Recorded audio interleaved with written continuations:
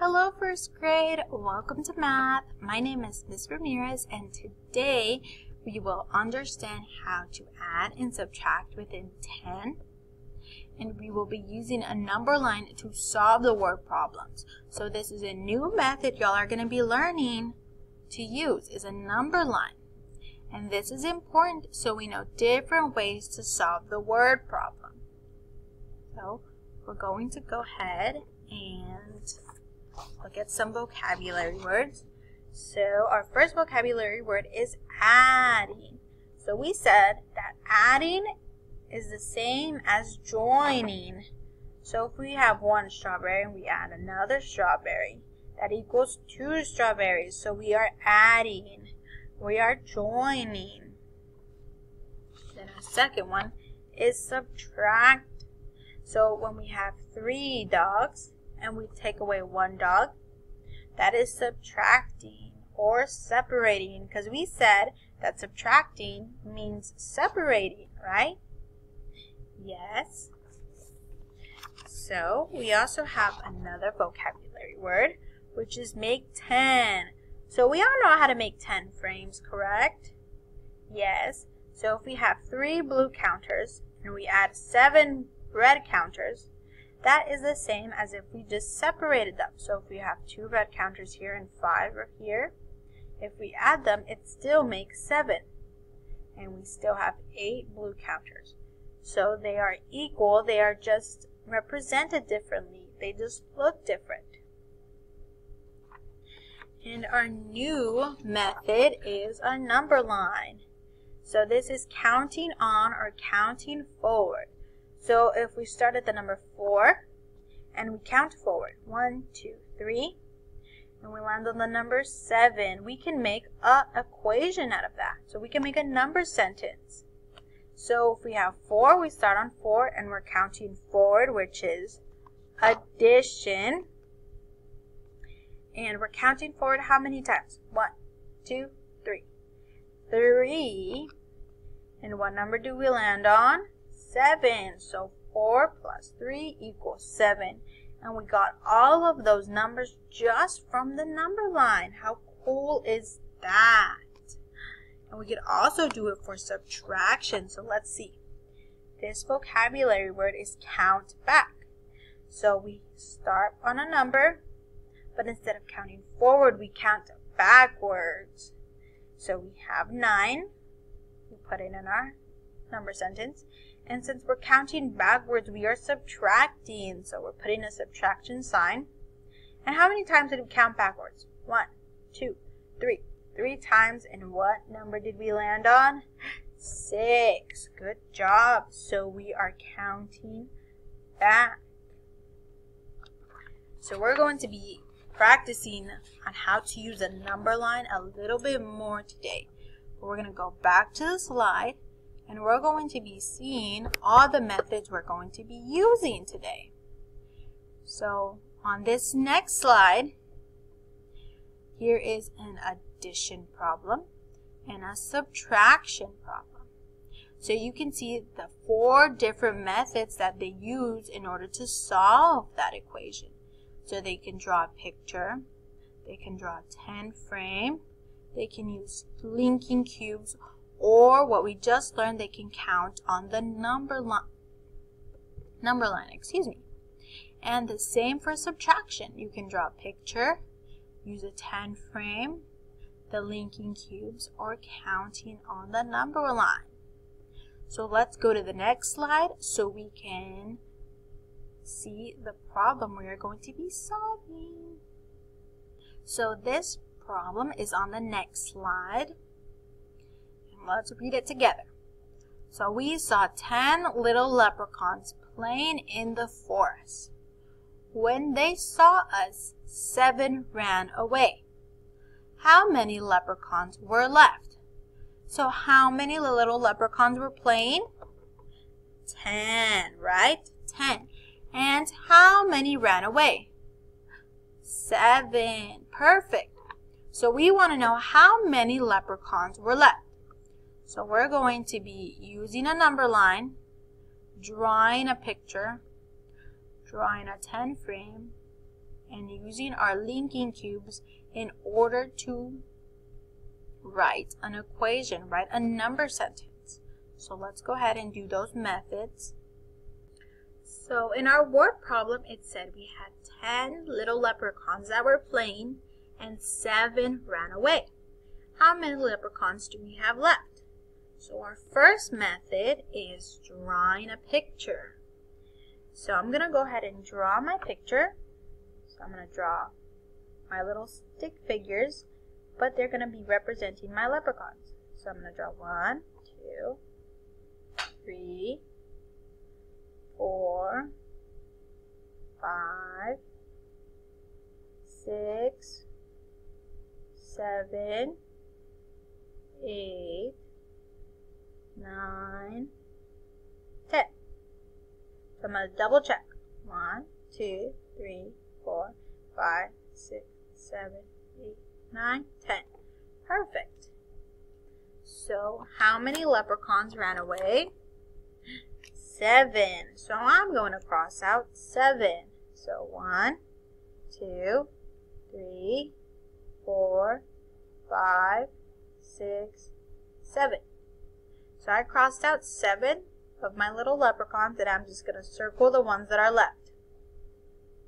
So how many are left? One, two, three. Perfect. So I started off with 10 little leprechauns. And how many ran away? How many do I have xed out? Seven. So since 7 ran away, we are taking away, we are subtracting 7. And how many did I have left? 3. So 10 minus 7 equals 3. So with our picture, we are able to write this number sentence.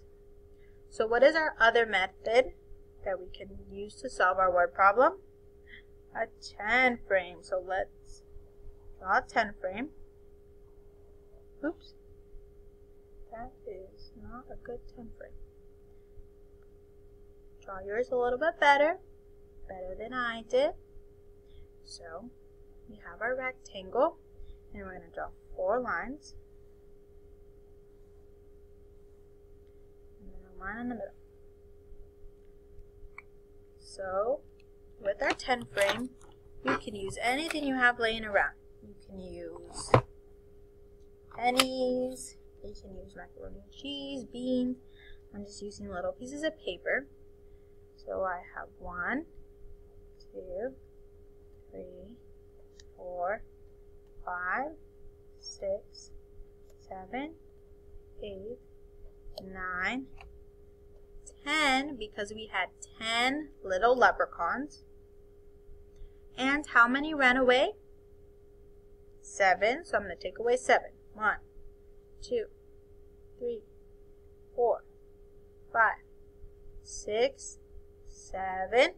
So I'm going to take these away. So how many do I have left on my 10 frame? One, two, three. Perfect. So we started off with 10. And how many did I take away? 7. So when I'm taking away something, when I'm subtracting, I need the subtraction sign. So I took off 7. And how many do I have left? 3. Perfect. So we solved the same word problem using our 10 frame. So let's go ahead and do that with our linking cubes. So I have some linking cubes right here. I have 10 of them. So we're going to take off 7 because 7 leprechauns ran away. That's what we said in these other two drawings. So I'm going to take off 7. 1, 2, 3, 4, 5, 6, 7. Take off 7. Now, how many linking cubes do I have left? One, two, three. Perfect. So, I started off with 10 linking cubes and I took away, I subtracted 7. I separated 7 and I'm left with 3. So, the difference is 3. Okay. Now we're going to try our new method, which is a number line. So I'm going to go ahead and move the page a little bit up.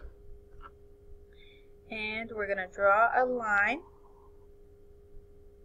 and we're going to draw a little arrowhead at the top of it like that. So how many leprechauns did we have at the beginning? 10. So we're going to lay number it 1 through 10. So we're going to make a line and then put 1, make another line, 2, make another line, 3, and we're going to keep going until we get to the number 10. So 7, 8, 9, 10. Ooh, ooh. Number 10. So we had 10 leprechauns. So I'm just going to underline it. So we had 10 leprechauns. And how many leprechauns ran away? Great job. Seven ran away. So in our number line, remember in the vocabulary, we have to jump backwards, right? Seven ran away. So what are we doing? We are separating. We are subtracting. So we count backwards. So we're going to start at the number 10. So I'm going to make a dot. And we start at the number 10. So ready? We're going to jump back seven times. So one, two, three, four, five, six, seven. So what number did we land on? Circle that number. And we landed on the number 3. So, we started at the number 10 and we jumped back seven times. And what number did we land on? 3. Perfect. So we landed on the number 3. Right here. So, remember, when you're using the number line, you want to make sure that you touch every number. And you're jumping back however many times you need to and you circle the number you land on. So 10 minus 7 equals 3. So these four methods, you can use these four methods to solve that one word problem. So we're going to go back to the last slide and see your assignment for today. So now that you're on the last slide, we're going to see your assignment for today. So on the last slide, you have two worksheets, Pete the Pirate and Field Trip. So what you're going to do is you're going to complete both problems. So you're going to read the problem, and just like we did on the lesson, just like I showed ya, you're going to draw a picture. You're going to draw the 10 frame, and then you're going to use the number line to solve the word problem. And once you've drawn those three different methods, once you've used the number line, you've drawn the picture and the 10 frame, you're going to write the equation right here. So you're going to do that for both of them. So you have a subtraction and then the one right here. So it says equation sum and then equation difference. So once you solve both of these problems in your journal, once you've gotten your journal and you've solved and drawn these three methods with the number sentence, you're going to take a picture and upload it to Google Classroom in for your teacher. Okay? You're going to upload it on this assignment. I hope y'all enjoyed math today. Bye!